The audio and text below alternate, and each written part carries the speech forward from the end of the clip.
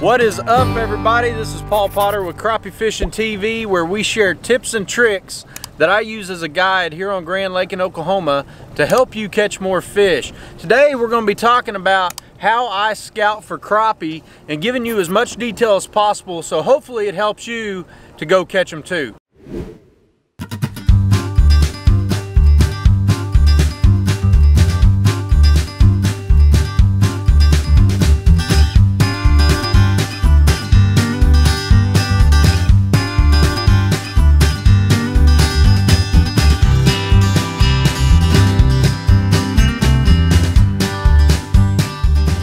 Cleaning out my boat, getting everything ready, and then I realized something. I drink an absurd amount of Mountain Dew every day on my guide trips. I mean, look at this stuff, guys. This is what I drink this morning from 7 a.m. to noon. This is what I've had to drink, and this one right here is the really bad one. Dude, there's 480 calories in this thing. 480 calories. Do you know how much sugar is in one of these Mountain Dews? I feel like I'm a hummingbird or something, like I'm living on sugar water. I mean, something's got to change.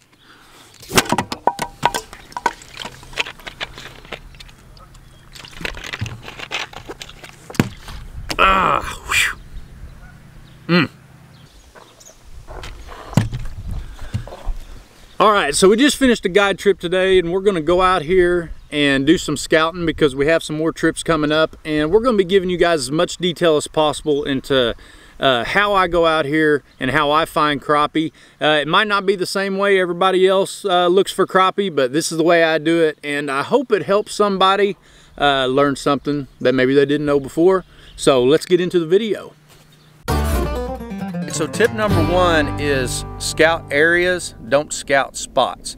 And what I mean by that is, uh, you know, I always have people call me and say, man, I know a killer spot over here. I know my honey hole. You know as well as I do that honey holes and, you know, and all these good spots that you have marked on your graph, they go cold sometimes. So what are you going to do when these spots go cold? Well, in my opinion, this is just me again thinking out loud, but if I scan an area and I get to learn an area by scouting it, I'm going to learn a lot more about that area and there might be 10 spots in that area. Once you start scouting that area uh, on a regular basis, you'll start learning what these crappie do after a cold front in that area, what they do after when the wind's high, you know, when it's raining, you know, all that stuff. If this is making sense, type slabs down into the comments section. Uh, also, let me know down in the comments if you have any other uh, tips, tricks that relate to this, or if you think I'm just totally bizarre and off my rocker and you disagree with me 100%. Put it down in the comments. Uh, I'd really like to know what you guys do uh, as well to chase these slabs. So. Okay, so before we start scanning again and looking for crappie, I want to show you one trick that I use.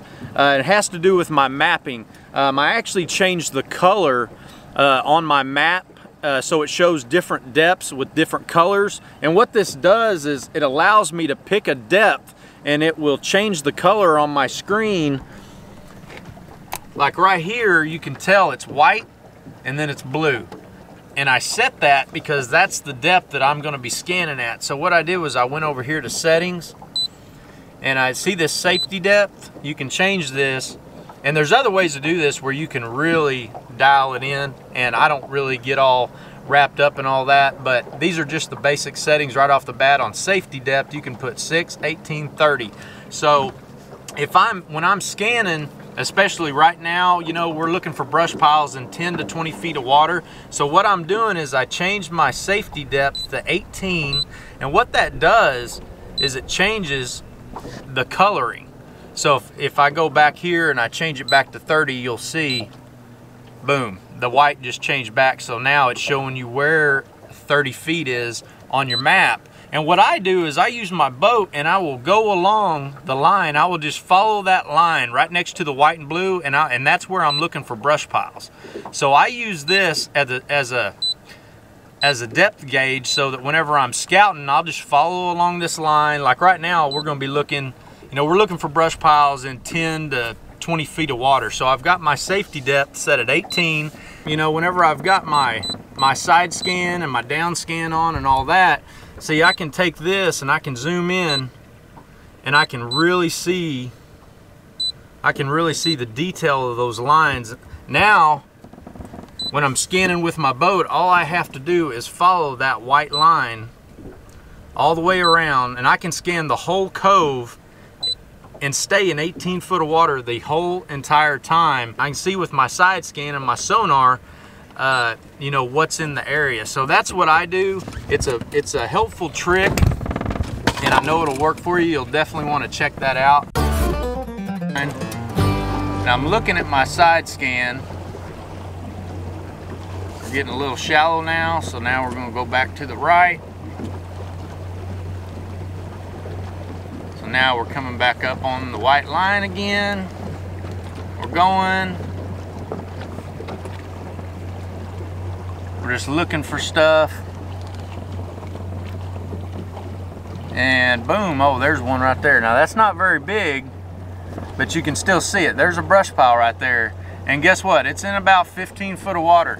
So we just found that brush pile basically because we were, you know, staying in at the right depth and we were scanning. Uh, I saw a few crappie on it. We're gonna go check it out with the live scope and see what it looks like.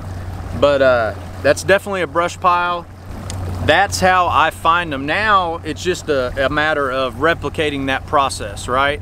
Uh, we know what the pattern is. We know there's crappie at 10 to 20 feet. So we're gonna look for as many brush piles as we can today um, in, that, in that depth range. And we're gonna check them out with the live scope, see if there's any fish on them, you know, see if we can catch any. You know, if we can catch four or five really quick, bam, that's a, you know, that's an active pile and it might be one that we consider, uh, you know, taking on a guide trip, right? That's it for today. I hope you guys got some valuable information out of this. If you did, hit the like button below, subscribe, and leave a comment down in the comments section and let us know how you liked the video. I also want to give my buddy Josh a shout out. He's been helping me do some filming. He's been filming me and stuff over the last few days, really helping me out. Uh, this guy's always on call uh, and I call him, I'll call him at midnight and this guy will come over and fix my trolling motor uh, that night. He's always been there when I call, need a repair. Uh, you guys should check him out. I'll put a link to him uh, down in the description below.